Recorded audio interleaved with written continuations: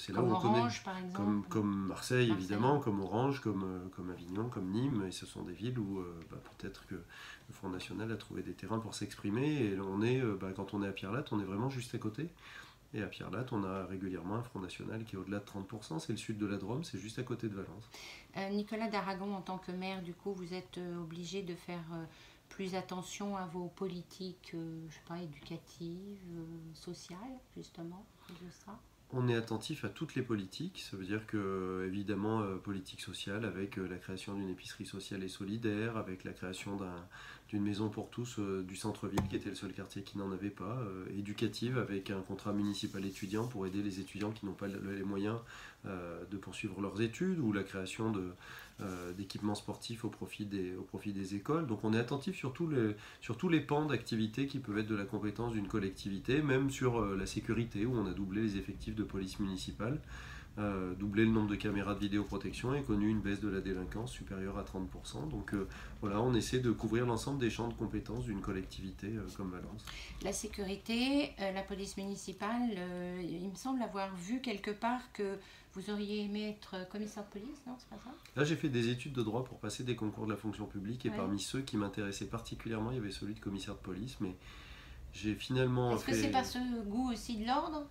Ah si, sûrement que c'est un peu le goût de l'ordre, euh, oui, de la justice, de l'équilibre aussi. Donc euh, oui, bien sûr, c'était ça l'objectif. Mais euh, je me suis après engagé très vite en politique. Je suis un, un- un vieil élu. J'ai été élu en 1995 conseiller municipal. euh, Vous aviez quoi, 20 ans? 23 ans. Ah bah oui, vous étiez très jeune. Là, vous Voilà. êtes dans la pleine fleur de votre maturité. Oui, voilà. Alors justement, on dit que c'est le plus beau mandat du, du monde, enfin, ou en tout cas de celui qu'on peut de avoir, France. ou de France, euh, ce qui est celui...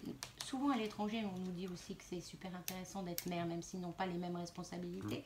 Vous cumulez euh, plusieurs mandats, euh, vous arrivez à vous en sortir avec la vice-présidence tourisme, ça vous fait pas trop aller tourisme, thermalisme en dehors de votre belle ville de Valence? Le bon équilibre, c'est euh, un jour et demi à deux jours dédiés à la région. Et c'est vrai que les déplacements sont longs, donc euh, c'est une grande, moyenne. hein. La, la région est très grande, il y a 12 départements, et puis le reste du temps, c'est euh, c'est ma ville, c'est mon territoire, donc c'est Valence. Donc euh, je n'oublie pas que la maison, c'est Valence. Voilà, donc je rentre, je rentre à Valence le plus souvent rentrez possible. à la maison, comme on dit. Exactement, et je vais me mettre au service de mes concitoyens. C'est 5 jours sur 7 et 2 jours sur 7 pour la région. On a beaucoup parlé des, du problématique des gilets jaunes, on va en parler, hein, parce que ça a affecté beaucoup, beaucoup d'endroits et beaucoup de maires ont eu le souci euh, euh, de voir euh, leur centre-ville un peu calme. Il y a eu beaucoup d'échauffourées à Valence, ça s'est passé bien Alors, on est une ville un peu particulière de deux points de vue. Le premier point de vue, c'est qu'il y a une mobilisation extrêmement forte depuis le début du mouvement, ce qui signifie que le samedi qui a suivi le jour de l'an, il y a eu plus de manifestants à Valence qu'à Paris. Euh, il y a eu plus de, 3000, record. euh, plus de 3000 manifestants, alors qu'à Paris, il y en avait euh, 2800. Et la deuxième particularité, c'est qu'à Valence, les manifestations ont toutes été non violentes. euh, toutes parce que euh, ce sont des gilets jaunes locaux responsables qui déclarent les manifestations et les encadrent. La seule qui aurait pu dégénérer, c'était le rassemblement régional du 2 février dernier.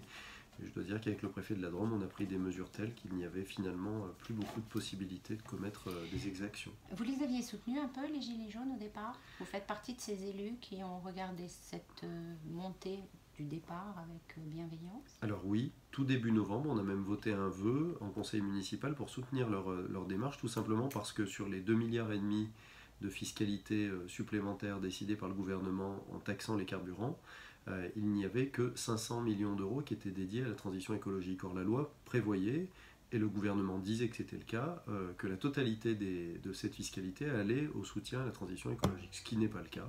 Donc évidemment, on avait voté un vœu à l'unanimité pour dire que, un, on allait nuire au pouvoir d'achat de nos concitoyens, que c'était en plus des augmentations qui étaient extrêmement fortes, que pour la ruralité, on est au cœur de deux départements très ruraux, hein, la Drôme et l'Ardèche, ça allait être particulièrement dur parce que euh, en ville, on peut prendre les transports en commun très facilement. À, à Valence, c'est le cas, à Lyon, évidemment, encore plus.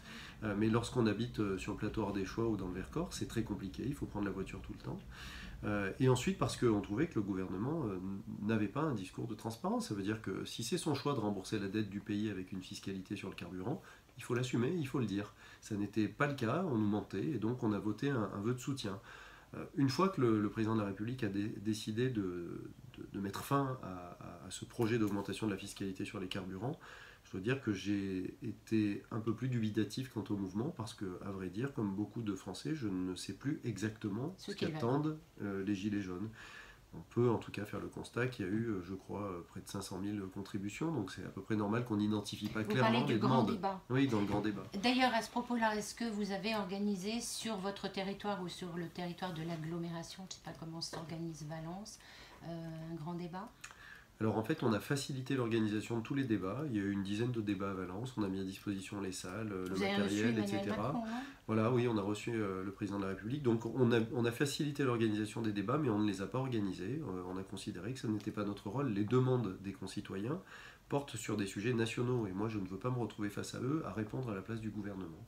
Et lorsqu'on a eu euh, la visite d'Emmanuel Macron, on a eu l'occasion de constater à quel point euh, nous n'étions pas entendus. Nous étions une cinquantaine de maires dans une salle de la préfecture à avoir parlé chacun 4 à 5 minutes. Ça fait euh, quasiment 3 heures à s'exprimer. Le président de la République nous a répondu en 10 minutes, donc il ne nous a pas répondu, pour être clair. Il a pris des notes, ah mais moi je, je pense qu'il est assez entouré pour que d'autres prennent des notes et que lui nous réponde, ce serait quand même beaucoup mieux. Et ensuite. Donc vous êtes déçu un peu Ah, bah, j'étais très déçu. Moi j'ai trouvé qu'on n'était pas, pas, entendu, pas entendu et qu'il n'y avait surtout pas de réponse. J'ai posé la question par exemple de la desserte TGV de notre territoire euh, qui a baissé de 3 TGV par jour. Je n'ai pas eu de réponse. Je suis sorti. Paris, euh, vous parlez du Paris, Lyon-Valence, Paris-Valence euh, Lyon. pour nos auditeurs. Hein. De Valence, Lyon, Paris, et puis de Valence, Lyon, Strasbourg, qui ont été supprimés. Donc voilà, notamment. Et donc on n'a pas eu de réponse. Et puis ensuite, il y a eu un, un grand débat dans un gymnase à Bourg-de-Péage, à côté de Valence. Et je dois dire que quand j'ai regardé les images et que je me suis aperçu qu'il n'y avait que du personnel politique dans la salle, je me suis dit qu'on n'avait pas encore franchi le cap de la vérité. Il euh, faut, qu'on arrête de prendre nos concitoyens pour des idiots. Ils attendent une vraie discussion. Quand ça va pas, il faut le dire, il faut l'entendre, mm. et il faut répondre. Et quand ça va bien, il faut le dire aussi. Merci Nicolas d'Aragon de toute cette franchise et de ce, et ce verbe haut. Euh, vous êtes maire de Valence, je l'ai dit, mais vous êtes aussi vice-président euh, thermalisme, tourisme. C'est un peu plus gai comme, euh, mm. comme histoire. le thermalisme, c'est beaucoup, beaucoup d'endroits en Auvergne-Rhône-Alpes, notamment en Auvergne. vous dépensez beaucoup de sous? On a 24 stations thermales. Parmi ces stations thermales, et pour faire plaisir à tout le monde, j'en citerai deux. Evian en Rhône-Alpes et Vichy en Auvergne. Et une fois que j'ai dit ça, j'ai parlé quasiment des deux marques les plus connues au monde, issues de notre région. Et évidemment Michelin, mais c'est dans un autre job, hein, évidemment. mais euh, euh, voilà, on a des fleurons euh, et on a une force incroyable. On est pourtant la troisième région thermale de France, malgré cette densité de stations thermales et, la, et la notoriété d'un certain nombre d'entre elles. Donc on a choisi d'investir beaucoup pour les accompagner pour transformer leur offre. Jusqu'à présent, c'est des stations qui sont spécialisées dans les cures médicales de sécurité sociale. Et euh, on sait que ce sont des cures qui progressent de, euh, de 5% tous les 5 ans à peu près, alors que les, les séjours euh, bien-être bien -être santé progressent de 7% par an. Ce sont des séjours beaucoup plus courts. Thalassothérapie, c'est ça dont vous parlez Pas thalasso parce qu'on n'a pas la mer, mais oui, oui, thermalisme en tout cas. Voilà. Et donc, ce sont des séjours plus courts, des séjours de loisirs et des séjours lors desquels les gens dépensent plus d'argent. Donc, on a choisi d'aider les stations à se transformer. Le premier plan thermal a permis d'accorder près de 23 millions d'euros de subventions et on va lancer le second. Euh, il y a un certain nombre de stations qui se transforment très vite et qui donnent des résultats incroyables. C'est bien, tout le monde a envie de se soigner un peu dans cette morosité. en plus, ça, a vraiment des vertus hein, qui ont été étudiées médicalement. Ça veut dire que quelqu'un qui fait une cure thermale, euh, dans les 5 ans qui suivent, voit sa consommation de médicaments chuter de façon extrêmement forte. je crois que la sécurité sociale et le ministère de la Santé n'accordent pas autant de crédit euh, pour rien. Il y a vraiment des effets très positifs au thermalisme. Nicolas d'Aragon, vous êtes aussi vice-président en charge du tourisme. Alors nous sommes sur Radio Judaïka. Euh, le tourisme, est-ce que ça peut impliquer euh, des pays Bien sûr. Comme Israël. Bien euh, sûr. Bah, on, a une, on a une liaison directe avec Israël, avec Tel Aviv, qui part de, qui part de Lyon. Donc on a en plus cet objectif que d'attirer des clientèles israéliennes et aussi que nos concitoyens y aillent. Dans ma mission, c'est plutôt de faire venir les Israéliens ici. Donc on ira par exemple au printemps prochain faire la promotion de la gastronomie mhm. de, notre, de notre pays et plus particulièrement de notre région à Tel Aviv. Euh, mais on a aussi. Il y a plein de cuisiniers géniaux oui, oui, euh, à Oui, oui, enfin là on va emmener les nôtres. mais, je suis sûr qu'il y en a plein de très bons, j'y suis allé euh, quelques fois aussi. Et puis on a aussi une tradition d'accueil de touristes israéliens qui viennent dans, skier en, dans les Alpes. Donc évidemment, on va continuer à renforcer cette offre pour, pour que les Israéliens viennent et reviennent en France le plus souvent possible. Et en plus, on a une diaspora française nombreuse là-bas. Donc toute facilité à les attirer dans notre belle région le côté euh, ludique et, sympathique. Euh, Nicolas d'Aragon, euh, je le fais souvent au début d'émission, mais bon, vous êtes originaire, vous avez des parents qui sont marocains. Mhm. Donc vous êtes originaire du pourtour de la Méditerranée.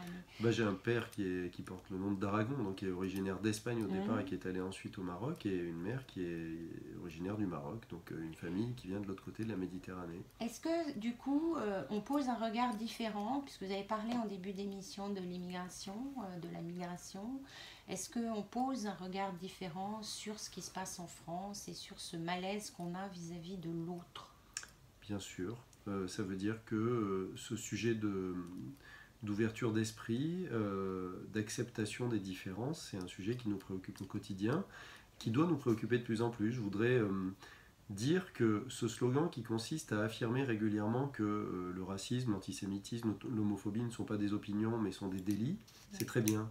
Sauf que le fait d'utiliser des slogans, ça finalement annihile complètement le débat. Et il nous faut un débat. Il nous faut un débat permanent. Il faut que dorénavant, dans nos écoles, dans nos collèges, dans nos lycées, euh, on continue et on revienne euh, pour enseigner ce qu'est euh, l'ouverture à l'autre, ce qu'est l'acceptation de la diversité et de la différence. Et donc évidemment que c'est un sujet qui me préoccupe en tant que maire. je dois dire qu'à Valence, on a un bon équilibre, que les choses fonctionnent bien, mais je sais et je n'ignore pas que dans certaines villes, ça n'est pas la même